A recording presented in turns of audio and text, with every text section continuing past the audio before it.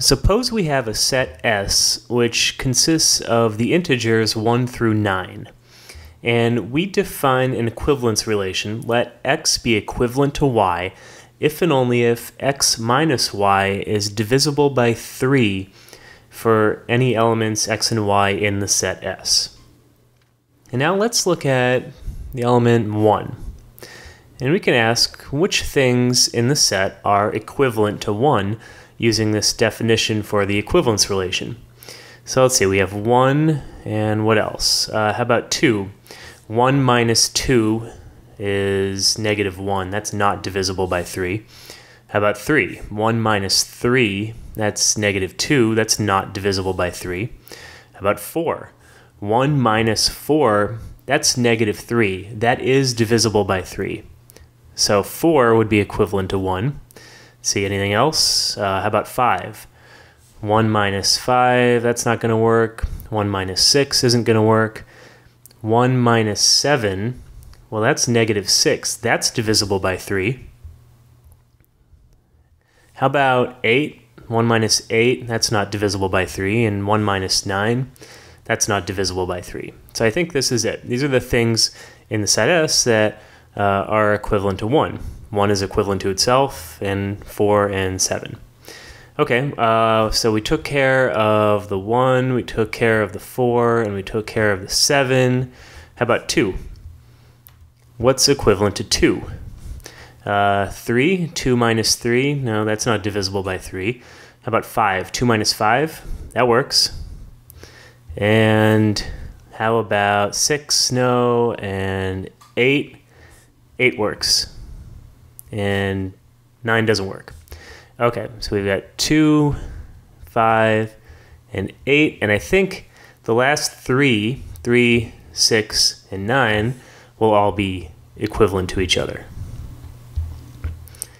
And so uh, these groupings here that we have, we call these equivalence classes. These are the things that are equivalent to each other. And there's some notation that we can use represent an equivalence class. So these are examples here of the equivalence classes for the relation that I defined above. And if I wanted to uh, refer to an equivalence class, what I can do is select any element from the class and put some square brackets around it, like this. So this would mean the equivalence class of things that are equivalent to 1. And this is also the same thing. I could have written it like this with the 4 or with the 7. It doesn't matter because they're all equivalent to each other. You just pick one element from the equivalence class as a representative. And then I could also say the same thing for the other uh, two equivalence classes. So in general, if we have an equivalence relation defined on a non-empty set S, then if x is an element of S, then the equivalence class of x is denoted by x with the square brackets, where it's the set of elements in S that are equivalent to x. So using this idea of equivalence classes, we can prove a few properties related to equivalence classes. So here's an example. Let uh, tilde be an equivalence relation defined on a set S and let x be an element of S. Then we can show that x belongs to the equivalence class of x. This seems kind of obvious, but we'll go ahead and prove it anyways. And just to remind you, here are the three properties of equivalence relations, reflexive, symmetric, and transitive. And here's an example that we used before, the set S of uh, integers 1 through 9 and the three equivalence classes. Okay, so I want to show that x belongs to its own equivalence class. Well, the definition of equivalence classes is that um, X will be in the uh, equivalence class if it's equivalent to itself. That's just the reflexive property. So by the reflexive property, X is equivalent to X, and this means that X belongs to the equivalence class of X. Okay, that was an easy one. Let's do a harder one. How about let tilde be an equivalence relation defined on a set S with x and y being elements of S, and let x be an element of the equivalence class of y. Then we want to show that the equivalence class of x equals the equivalence class of y. Now, these are two sets, and we're trying to show that they're equal to each other. So if we have x being uh, an element of the equivalence class of y, then by the definition of equivalence classes, that means x is equivalent to y. And to show that these two sets are equal, there's a general method. Whenever you have two sets that you want to show are equal, you always want to show that one is a subset of the other and then do the reverse, that the other one is a subset of the first one. So here's what I mean. First show that the equivalence class of x is a subset of the equivalence class of y, and then we're going to do it the other way around later. So first let's do this. Okay, uh, well let's let a be an element of the equivalence class of x, and what we want to show then is that A is also an element of the equivalence class of Y. That would mean that the equivalence class of X is a subset of the equivalence class of Y. Well, by the definition of equivalence classes, that means that A is equivalent to X. And we also know by the transitive property that A is equivalent to Y. Now, why is that? So we said that A is equivalent to X. Okay, so we know that. And then we also know from up here, x is equivalent to y. And so using those two together, we can say that a is equivalent to y by the transitive property. Okay, so then we can say that a is an element of the equivalence class of y, and therefore the equivalence class of x is a subset of the equivalence class of y. Great. Let's do it the other way around now. Show that the equivalence class of y is a subset of the equivalence class of x.